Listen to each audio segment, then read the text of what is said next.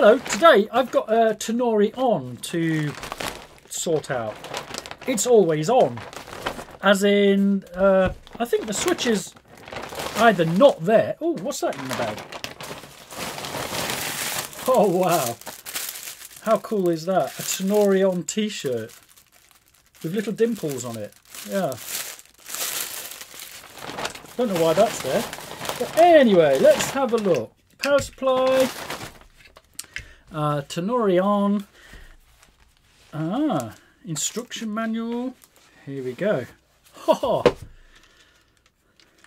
Now, I don't know when these came out. I really haven't got a clue. I'm just doing sort of a quick repair, so I've done nothing in advance uh, about this. Apart from, all I know is there should be a power switch there. And there isn't. There's just a hole. So I'm not sure if this was a, a demo one for a shop or something. I haven't got a clue. But it, immediately I can see the screws are missing in the corners. So it may have been screwed down onto something for testing. Nice case, by the way. Quite like that. Almost sort of, uh, yeah, it's magnetic. Anyway, uh, so I've got to sort the switch out there's no switch in there. I can't see any switch in there. There's just nothing to get hold of. Anyway, babble, babble, babble. Let me plug it in, make sure it all works first before I uh, disassemble it and do any damage to it, which I don't want to do. Right, is that on? Plugged it. Oh, yes, it is on. Tenori on. Ah, and you see there, little uh, white sort of LEDs running from one side to the other. That's basically uh, time. Uh, there's sort of 16 by 16. That's 256 buttons on there.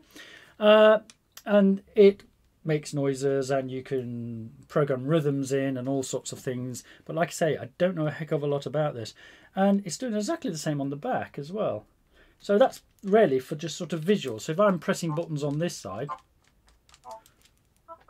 you can see it on that side as well.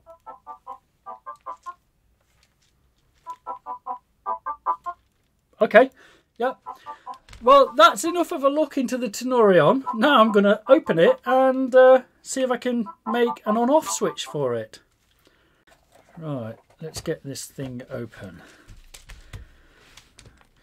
Now, you can put batteries into these, uh, six AA sized batteries and there are some little tiny screws. Oh, there's one hidden under the SD card there. Right, so I guess if I take those tiny screws out there, let me see. Is that going to be small enough? Yes.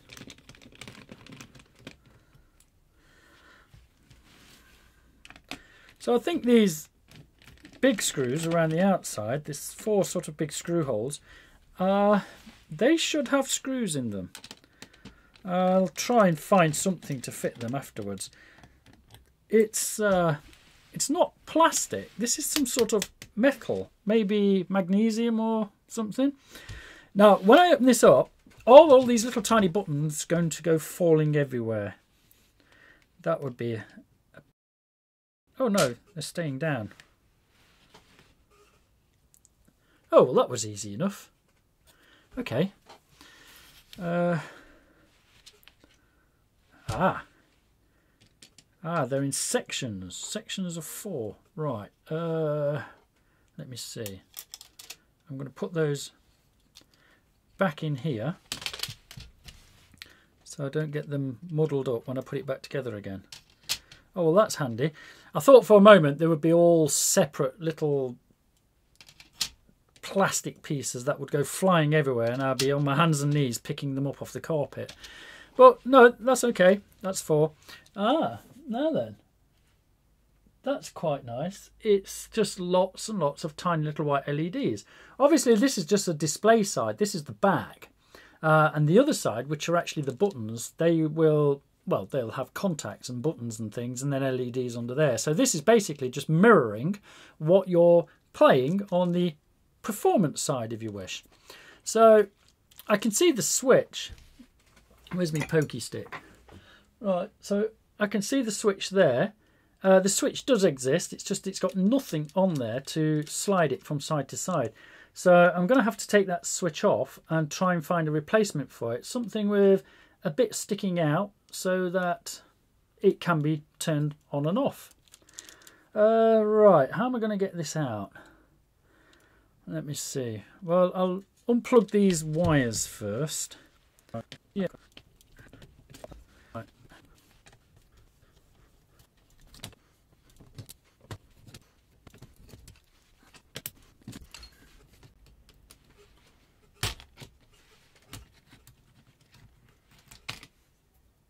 Haha. Oh, got to be careful of these bits floating about because they're going to make it a little bit awkward putting it back together without those. So I'll just slide that to the back for a moment. So there's the main uh, brains of the Tenori-On. I'm trying to get that in the camera better for you. Uh, so I've got to take off that power supply, that power switch, sorry, which is here. And the problem is they've put the display, so there's the power switch, and they've put the display in the way there. I wonder if the display just unplugs. Hopefully it does. Because I'm going to have to lift that up to unsolder the power switch. Uh, do this as gently as possible. These are really expensive uh, things. Is it a plug? Please be a plug. Oh, bugger. I'm not sure if this is actually a plug down into a socket. I don't think it is. Oh, well, that's going to make it a little bit difficult on doing that. It is not a plug. A plug and socket to lift the uh, display. I think it's soldered into place. Right, I'm in a bit of a dilemma here. Now, the LCD screen is one of those sort of matrix LCD screens, and I've not seen this type. It's not a common version at all. Uh, and the problem is it's not on a plug. Normally a screen like this, the manufacturer would put a socket, so you just plug the screen down onto the board, especially if it's uh, sandwiched and you've got bits underneath it. I mean, that's the common practice. But this has been put together and the screen has been dropped down onto there and then it's been soldered into place with uh, what about 20 20-ish pins or something. Now, if I start to unsolder this, I risk damaging the screen. Uh, if I use heat, uh, I could crack the screen, and chances of getting one of those is going to be almost impossible. Now, if I unsolder it from the other side of the board, fine. I might be able to get the screen out. But the connections to the screen are not on this side of the board. These are just sort of soldered down to their own little uh, pads. And it seems all the actual main connections are running in from this side. So if they're vias and they are connected through the board, then yeah, that could that would possibly work. I could take that off and put it back together again after I've taken off the switch. But if they're not, if there's no vias through the board, uh, for the screen that is, then if I just put it back on and solder this side, then I may lose some of the contacts on this side. So I'm in a bit of a quandary as to how to go about doing this. So as you can see on the switch here, there should be a piece of plastic sticking outwards this direction so you can slide the switch up and down and turn the thing on and off. I mean, fine, if you're using it on a power supply, no problem, just switch off the power supply. But if you've got batteries in it, you have to keep on taking one of the batteries out just to switch the thing off. I've tried uh, using the hot air gun across here on the bottom, not on the top, because these LCD uh, displays can crack if they get too hot. And the only other way I can think of unsoldering this is by just running the soldering iron across the top of the pins here, heating it up, melting the solder, and uh, oh, that's a bit dangerous, isn't it? And lifting it gently, hopefully, leaving all those pins in place and just sliding this piece off. And we're going to have a go. I know it's going to short some of the pins together, but it doesn't matter as long as they're all cleaned up again. Uh, I'll just see what I can do at least. The trouble is this is that new modern solder with no lead in it, so...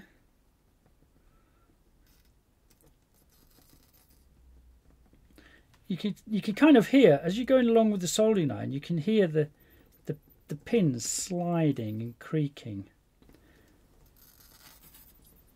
Can you hear that? Probably not. I'll try and get it into the video. Hey, there we go. Result. Uh, now, some of these will be shorted together, uh, so I'll have to clean all that up again before I put the put it back down onto there. But right, that's the display move, so I can put that to one side. Tiny little WinStar display. It's uh, it's very fragile. The board is really, really thin on it. Anyway, put that to one side.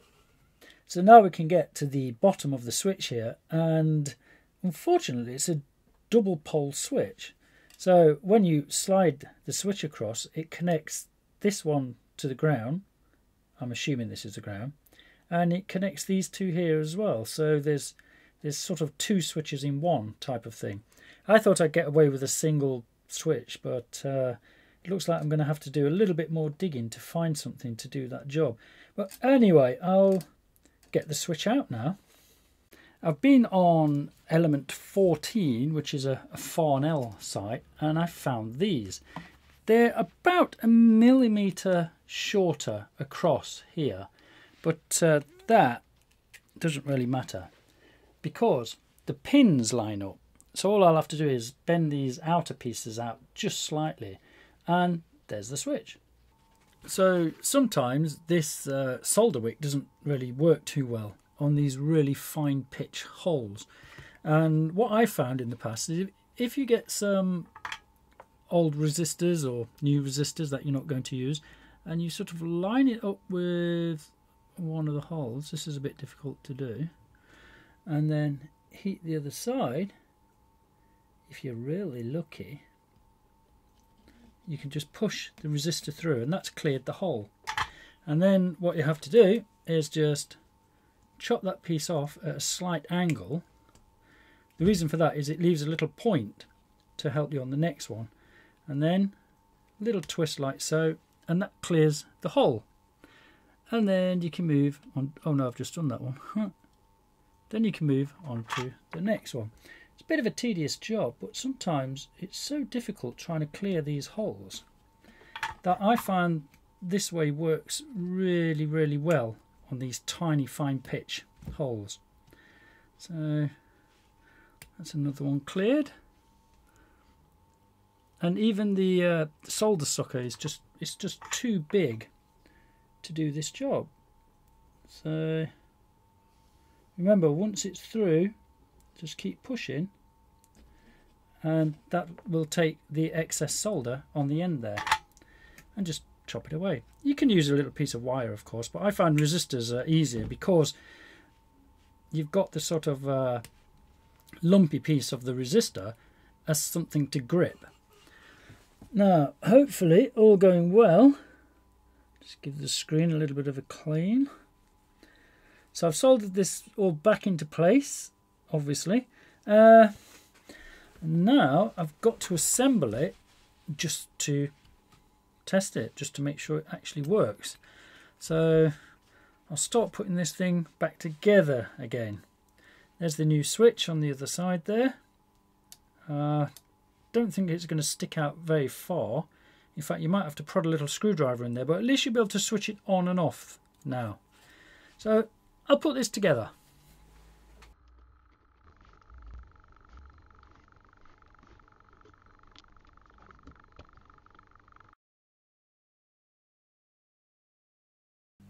The display's still working.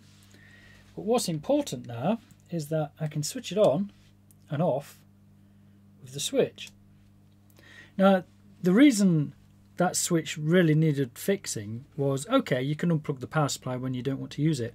But if you have batteries in this, then you'd have to keep on opening the battery connector and taking a battery out, or else the thing would just run down. But yes, it's all working. Okay, it's all up, it's running, uh, and uh, I know I said I was going to do a little demo of the sounds and things in here, but considering that I don't know anything about this machine, uh, this is the best I can do. Uh, it's a great little toy. I've seen it on YouTube. I've seen some people do some really good deep stuff with this. Uh, there, there's more than one sound, obviously. There's lots of sounds, and you can put samples in there and all sorts of things. Uh, make up entire songs. But uh, that's about my limit with this. So I'm not going to do a, a demo of what it can do. There you go. That is my demo. But anyway, I hope you found something interesting in the video, soldering tricks or whatever, and uh, I shall get something apart again as soon as possible. All the best. Thank you very much for watching.